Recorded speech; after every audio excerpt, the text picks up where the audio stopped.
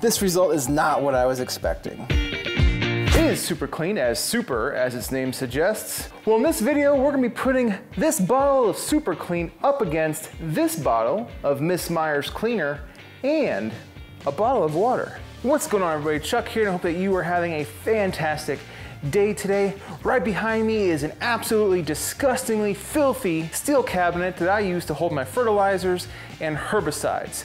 A couple years ago, I had some liquid fertilizer spill all over the cabinet and I haven't cleaned it once. Yes, I'm extremely lazy and I'm gonna own up to it. But I feel like now is the perfect time to put Super Clean up to the test.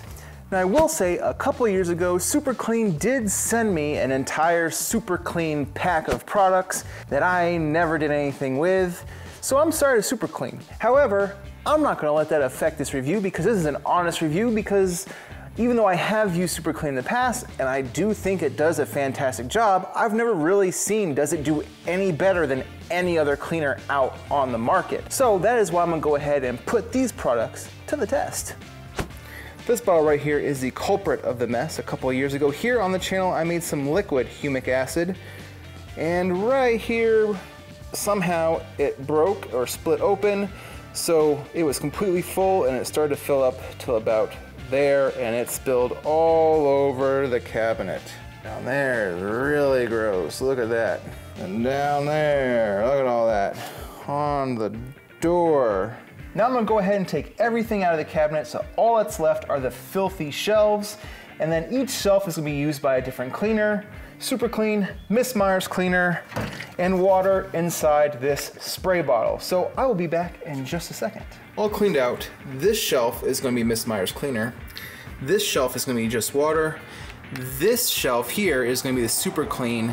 And then that bottom most shelf is going to be all three in just different areas so you can see them side by side by side. All right, so as I said, this shelf is going to be the Mrs. Meyer's Clean Day. Um, to make this as fair as possible, I'm just going to use three spritzes or three sprays, whatever the term is, uh, for each of these shelves. I'll go one, two, three.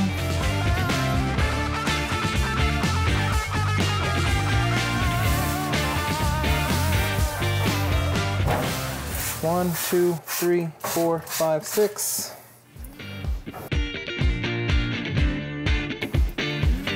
Let's just see what happens.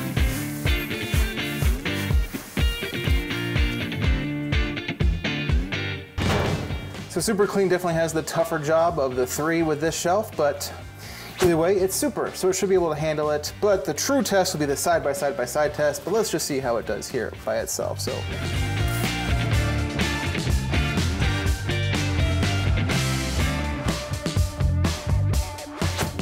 So after the three tests, this was the Miss Meyer's cleaner.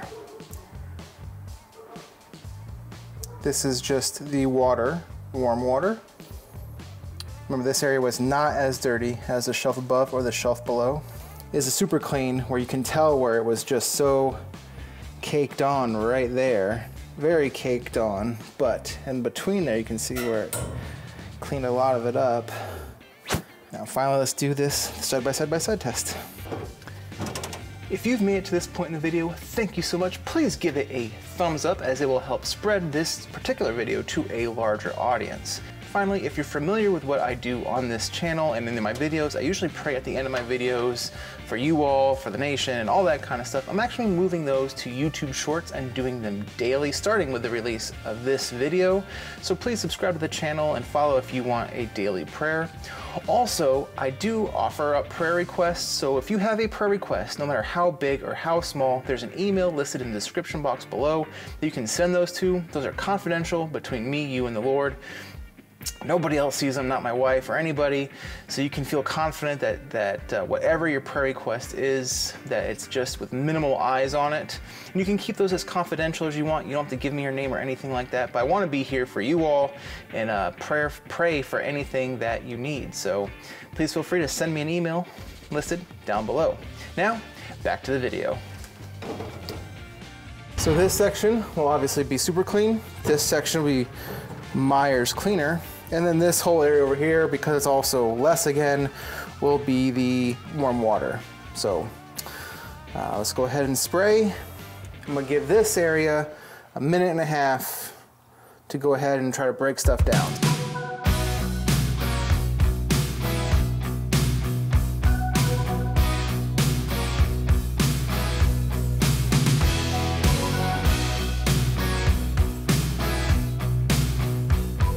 This result is not what I was expecting.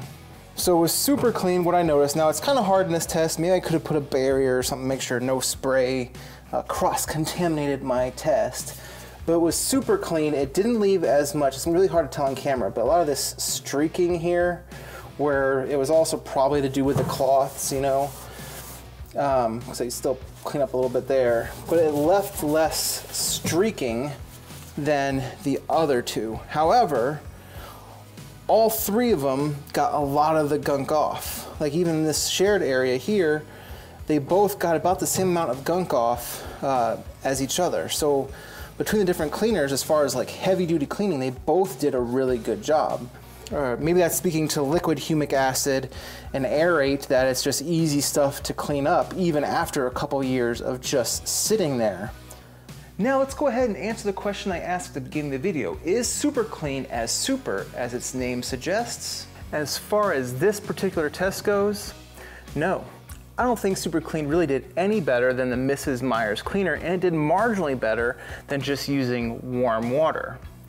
Now, as far as what I'm calling finishing the clean, meaning it left minimal residue behind, the two actual cleaners did way better than water, as water did leave some streaking and some residue, but even the water got up this particular mess.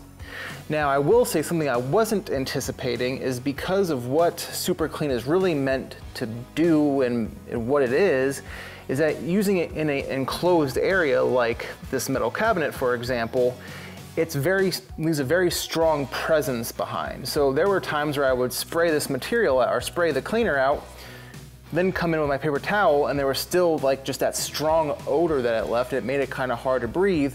Or using the Mrs. Meyer's, and I've also used the non-scented Mrs. Meyer's, doesn't do that because this is more meant for your general everyday cleaning where this is meant for heavy duty stuff. So it really has that strong chemical odor that it leaves behind. So I wasn't anticipating that. And this one, this particular test kind of was a knock against it, I guess. Now I will say this test probably wasn't the most fair as I thought that mess was way worse than it actually was. Uh, the material that spilled all over the cabinet was cleaned up obviously easy by all three of these. So maybe if I were to try to clean something greasy like an engine or something, I don't know, maybe the super clean would have really stood out. But with this particular mess, maybe a more general mess, super clean is no better than your everyday household cleaner or warm water. If you happen to like comparison videos, I actually did a comparison video that you can watch right here using three different lawn leveling tools that you should maybe check out. Hope you'll have a fantastic day and God bless.